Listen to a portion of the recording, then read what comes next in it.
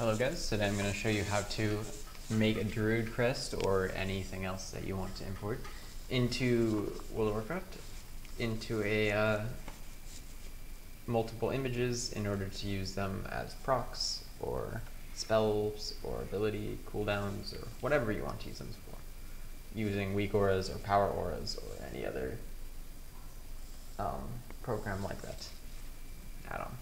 So what you're going to want to do is you're going to want to take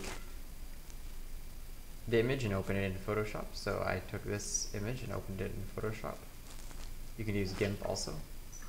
And you're going to want to control click in order to select the entire area and create a new file or a new image, title it whatever you want, and it needs to be width power by a power of 2, so 64, 128, 256, etc., etc.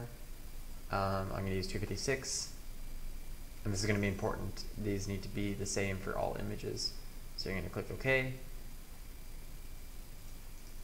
It's going to make a new layer for you. You're going to click on this layer up here, use the drag tool, drag it over, move it to wherever you want to put it in the center, and then open it full screen again. So I have this image already here and already cut. So what you're going to want to do is on this image, select whatever you want cut. For example, you know, this piece, you're going to want to select it pixel by pixel, but I'm not going to waste the time to do that. You know, you can just go in here and pick every single pixel that you want shown and what you don't want shown. Like that, that's pretty good. And then you're going to, sorry, you're going to take the selection, right click on it, and new layer via cut. And that's where this image is at right now. So this image is the new layer. And so you can eraser tool all the little purple outlines, you know, clean it up a bit, do what you want with it. And then you're going to take this layer, make a new image.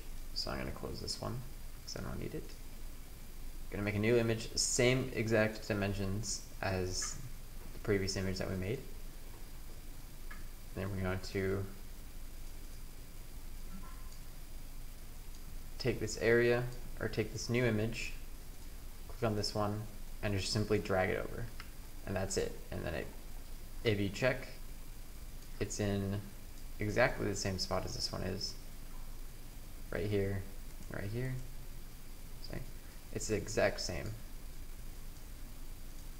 So now we have this image. Okay, this is just one I've already made also. The same exact one, and you're going to do what I did in the last tutorial, create the alpha, save it as a TGA file, and import it into the game as I showed in the last tutorial. And it's as simple as that, guys. Just cut up the image and put it into the same exact dimensions.